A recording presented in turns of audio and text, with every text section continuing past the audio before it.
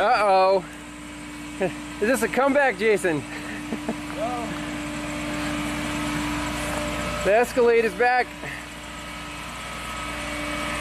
It's doing similar thing, but it's it's running, right? It runs. So I guess we'll unload it. Seems to be some communication problems and we'll diagnose it.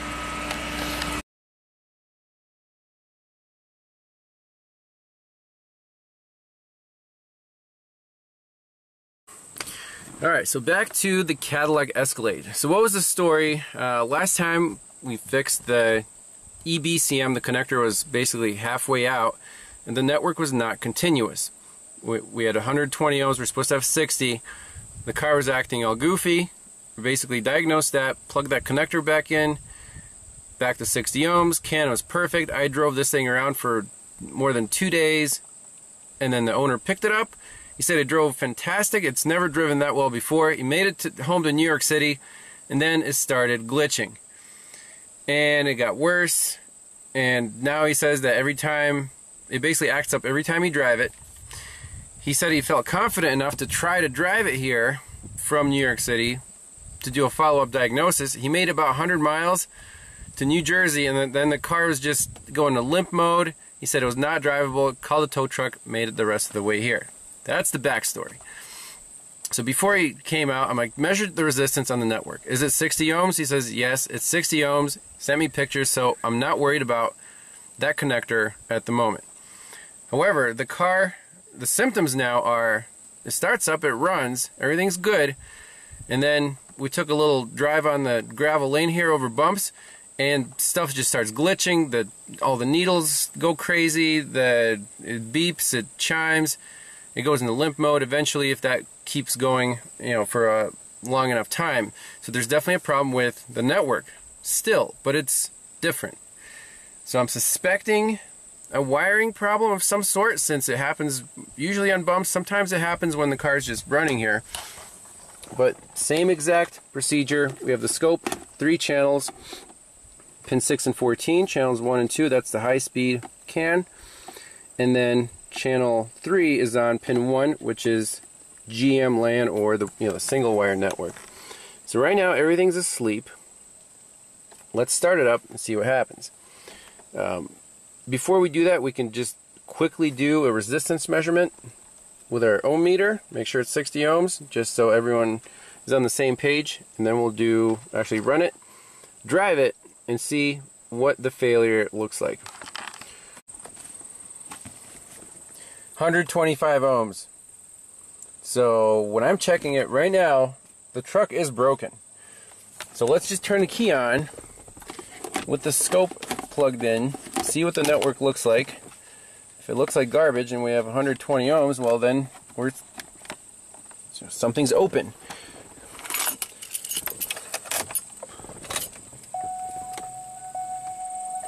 Let's see, will it start? Right there, boom, boom, boom, boom, boom.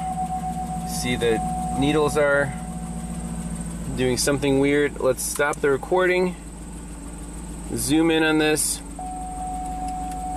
There you go, StabiliTrak off. All kinds of cool stuff.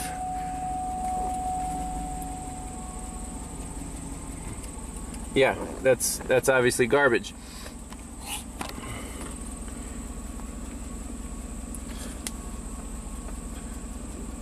How's the truck still running? I don't really know.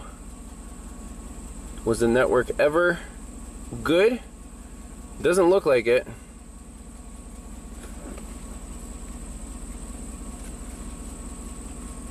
Okay, so I'm going to save this.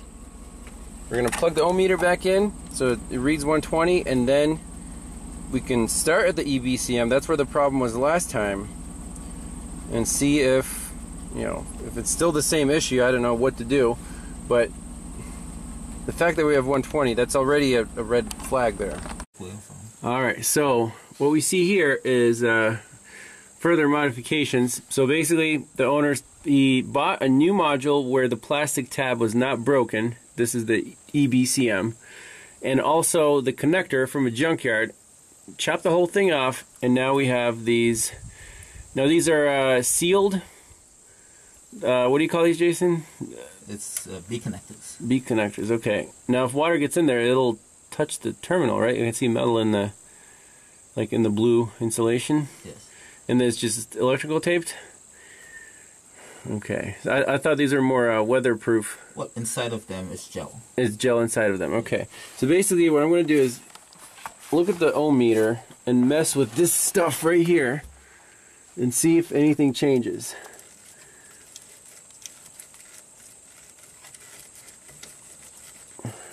We can unplug the module without snapping any tabs, hopefully. Let me do that, and then if we still have 120, then we'll measure, you know, we actually see the communication lines are here, these are the, the two twisted pairs. So if we basically short out the two pins coming from the DLC, we should see zero ohms. And then we can measure the resistance on the second pair going back to the electronic suspension control module. We should see 60 ohms back there. So we're at 120 right now. Let me unplug this thing and we'll see if anything changes. Alright, so check one. We got the connector unplugged. At the EBCM, I want to short out this yellow and yellow black. So that's on pins 26 and 14 coming into the EBCM. When I do that, this 120 should drop to zero. Okay, that'll check wiring integrity all the way to this connector to our DLC. So here we go. Look at the meter. Plug that in right there and right there. Zero or 1.7 ohms. If I unplug it, 120. Okay, so I'm happy with this yellow and yellow black. Now, let's put the meter on the neighboring pair pins 15 and 27, the tan and tan black, which are conveniently right next door.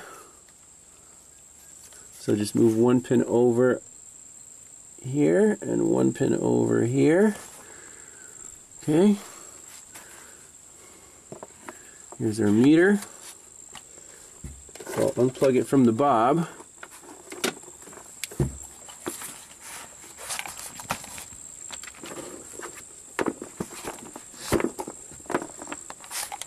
And then let's plug it into the tan and the tan black.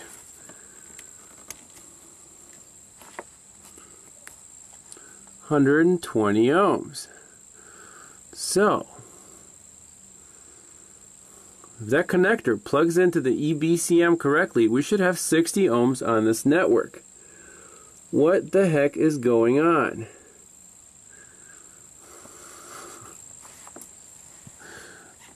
So, Jason did a nice job with his splicing here.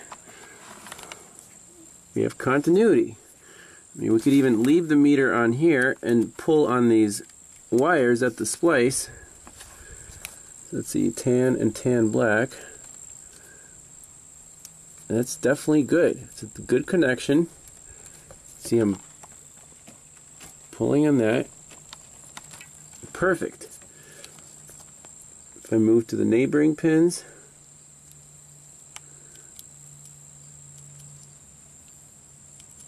this one and this one. 120 ohms. This is the yellow and yellow black. Again, pulling on them. We're good. The problem has to be either in the EBCM or this new connector, which sounds insane. That's exactly what the original problem was. I don't know. Let's, uh, I mean, the problem is easily reproducible now. And let me make sure this is plugged in maybe spray a little something on there to clean off all this mud and this junk. I'm going to probably blow it out with compressed air. I want to make sure that this is 60 ohms on the DLC when, when it's fully plugged in.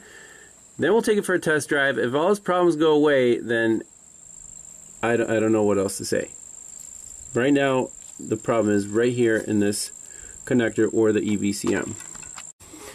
Alright, so I have the connector blown out with compressed air, sprayed with deoxit.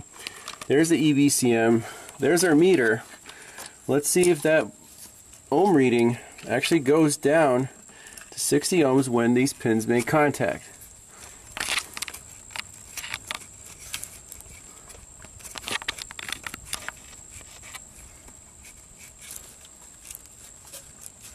There you go, 62 ohms. Wiggle check. That actually went in all the way, right?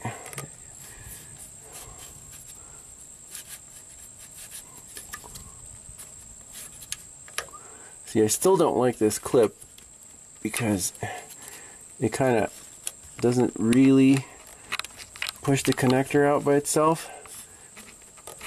There, we're back to 120. Let's go back in. 62 right there. So from here down to here is all 62. I like that. Let's put this back together. We'll put the little clip back on, make sure it's 62.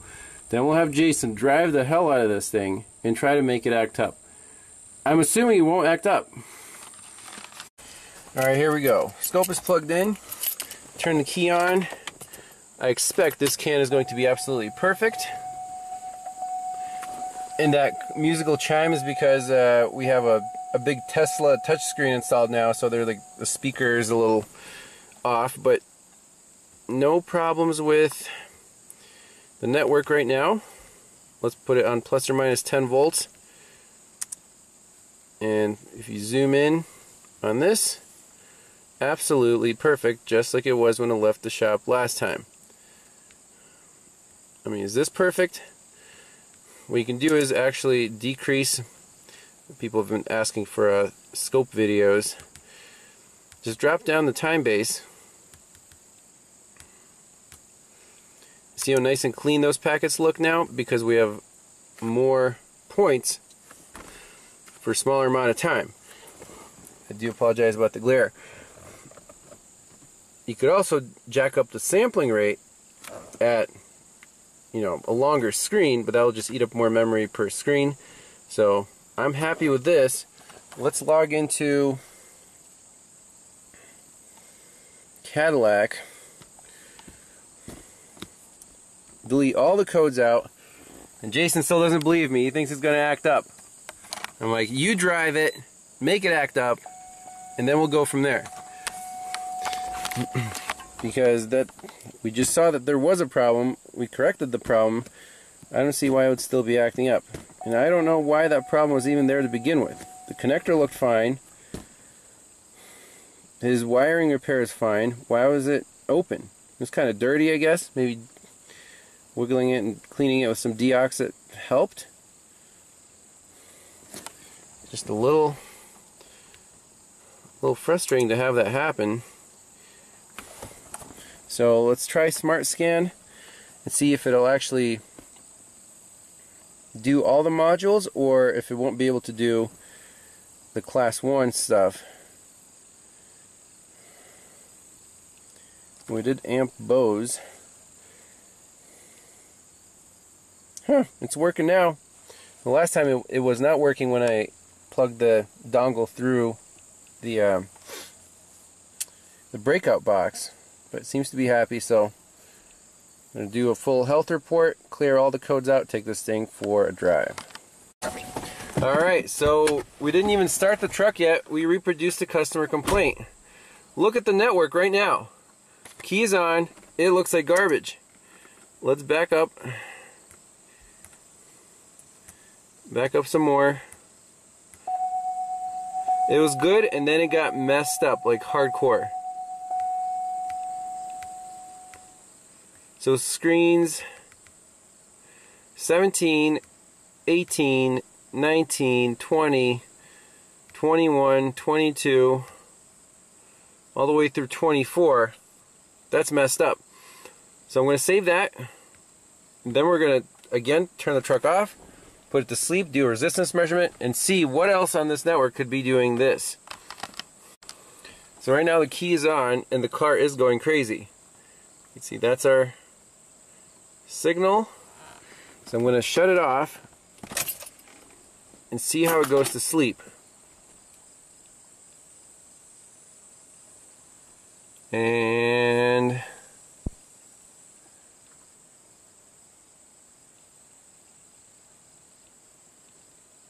okay, I bet if we measure the resistance right now, it's going to be back at 120 because this line here is at zero now, so it's the network is open again. But how could that be?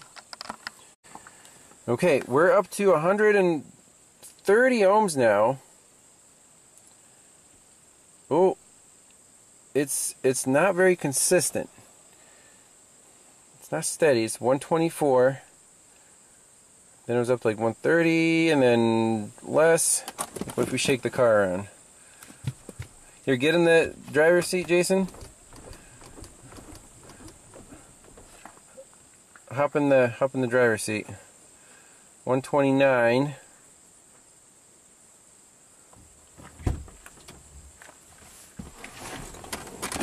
One thirty. So we've got an open. Let's unplug the EBCM one more time and see. You know, 130 is actually too high even for half of the network. Because we were getting about 119 with the EBCM unplugged. Now we're up to 130. So there has to be another issue here somewhere in the upstream leg because we're measuring at the DLC. Okay, so now we're at 135 ohms at the DLC. That number is too high, and that doesn't. That means that it's not just uh, broken there; it's actually broken or bad con connection between the DLC and even the first resistor. The second one's completely offline. So again, we're going to unplug this silly EBCM. Uh oh, so something changed. Now we're at 109. You didn't touch any doors or anything, right, Jason? I'm just going to unplug this connector slowly. Why did it change to 109? Oh, ah, it's being st stubborn.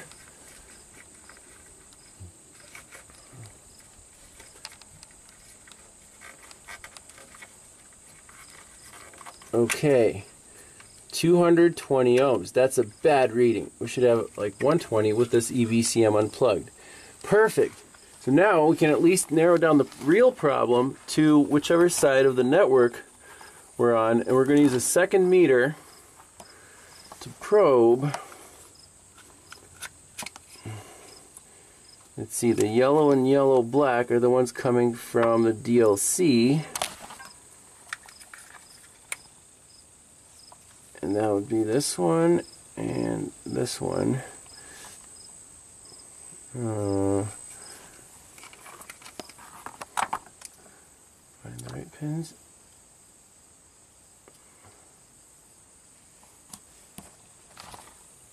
We have 218 ohms there. We have 0.7. How does that make any sense?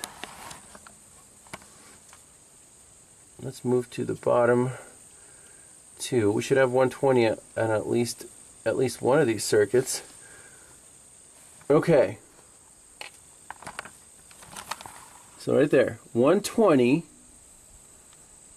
That's a good reading. That goes back to the electronic suspension control module and the ESC. So we know our meter is good. Now I'm going to move the leads to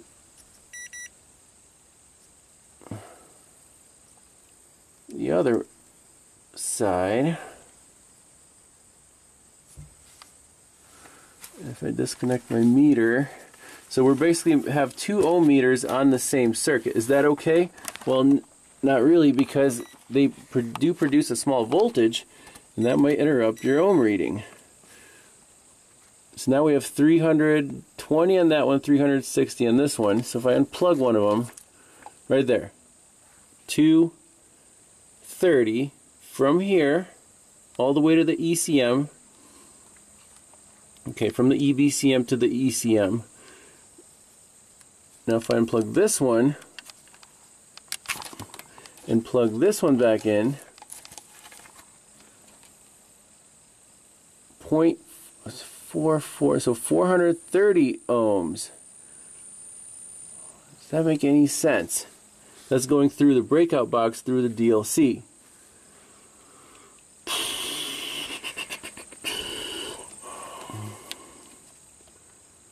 And the terminating resistor is inside the engine control module. Keep that in mind.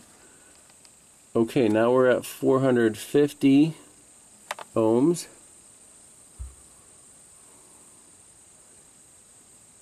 Right? 45 kilo ohms. Oh, God, this doesn't make any sense. 0.49 kilo ohms is 490 ohms. This is showing 45. Okay, I don't know if I can trust this meter. That's another variable.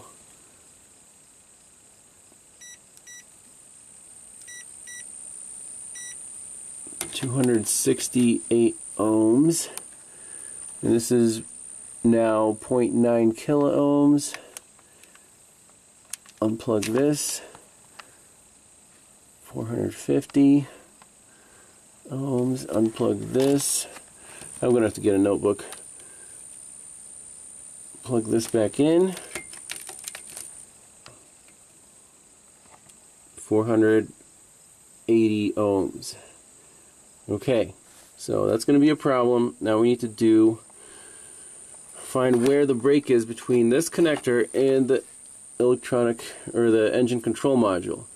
Now keep in mind at the DLC we're also measuring a high resistance so let's look at the wiring diagram.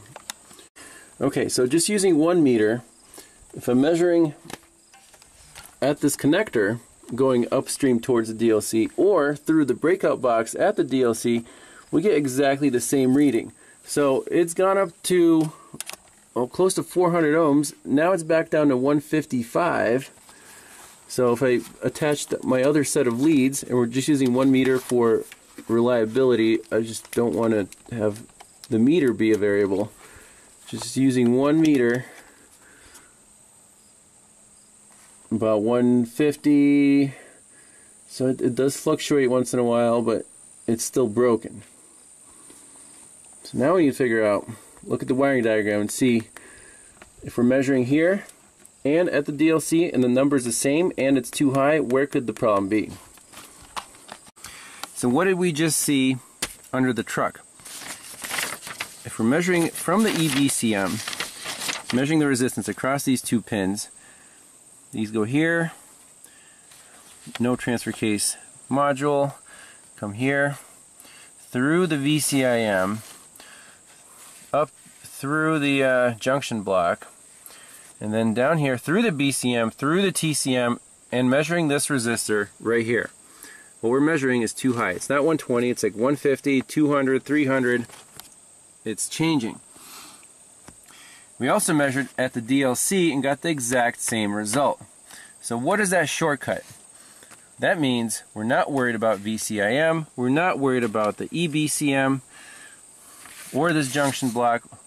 Now we're from here BCM, TCM, ECM. One, two, three modules. So we're cutting, cutting it down. Uh, where's the easiest place to check next? And remember, we should leave an ohm meter right here. And if we touch anything and it changes, we'll know we're close to the problem. That's going to be very key. So don't just go unplugging, you know, all these modules and then oh you know it came back to life well that that's not it's not necessarily a good approach like right now it's broken 156 they're measuring 156 right here so there's BCM now TCM um, that's probably right next to the engine computer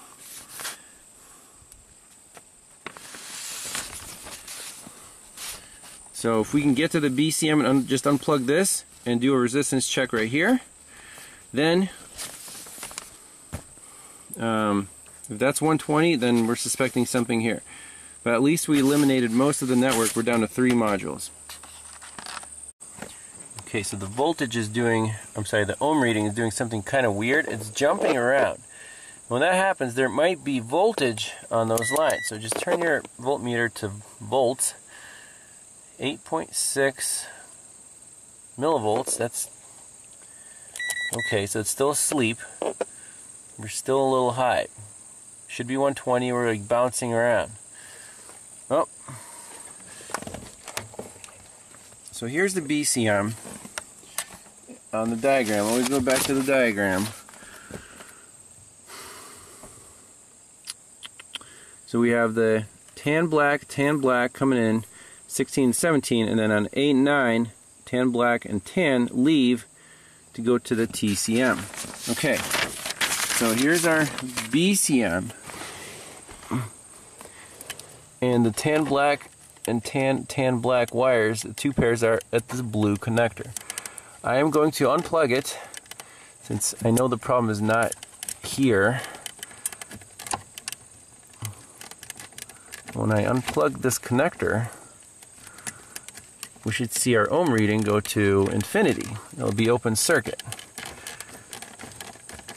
There we go.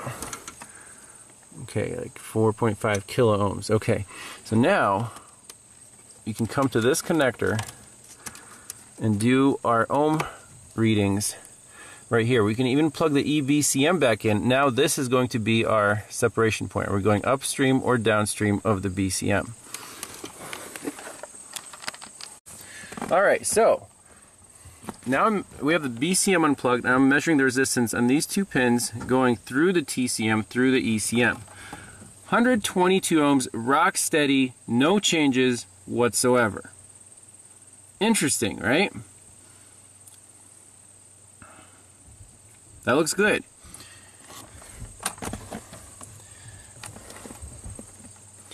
Now what, what should we do next? Um, plug the EBCM back in, measure from here, going all the way back through the EBCM to the terminating resistor back there. If that stays at 120, then we're suspecting this body control module. Now remember, this was replaced and programmed by the dealer, which we don't know if that was done properly or not. But, trying to think here. We can't really run the truck without the BCM plugged in. That controls everything pretty much. So this is this is absolutely rock steady. Like 122 no jumping around.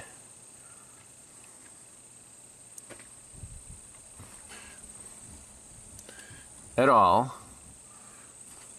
So if we plug this in and our ohm meter on the bob shows something crazy, then we know the problem is in this body control module. Because that way is good, the other way, EBCM is unplugged, so that's not even a variable right now.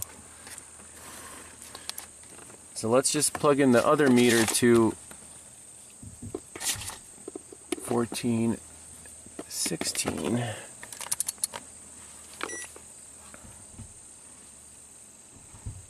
Yep, that's fine. So if I plug this back in, that meter doesn't read 120, then the problem's going to be right here in that body control module, which again is this stuff is unpredictable at best.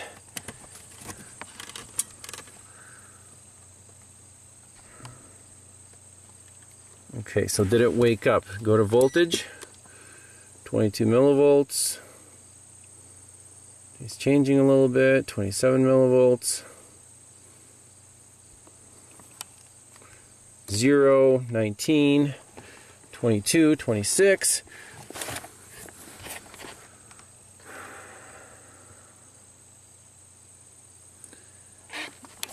Now we're measuring across the two pins. You want to measure from ground to pin 6, for example. 215 millivolts.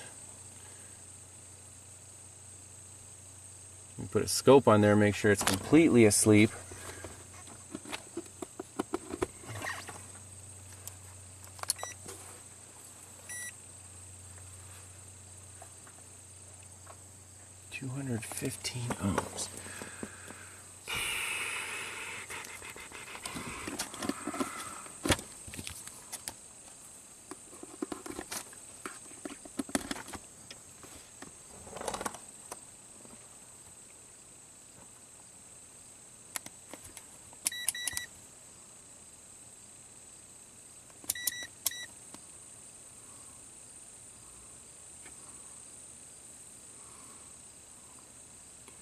49 ohms, 50 ohms, 51, 52, 53, 54.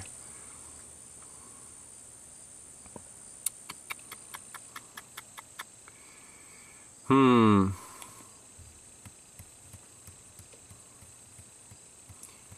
Oh, this is so resistance readings are only valid on systems that are not live.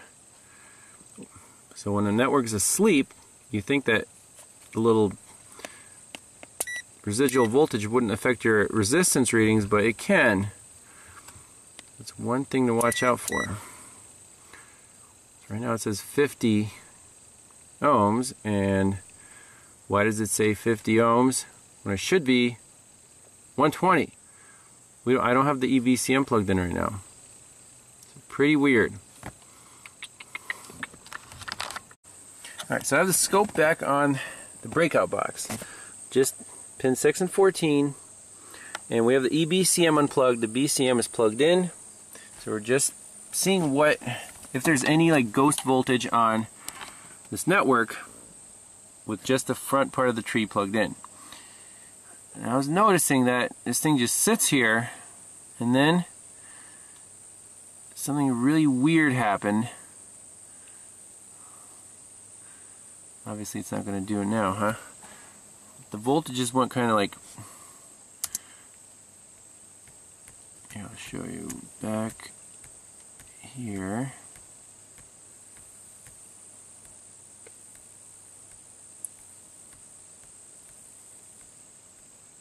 Right there. Right there. Like what... What is that? That's not a good CAN signal. That's just noise. Let me save this. We're close to the problem, but not exactly crystal clear yet what is causing this kind of stuff.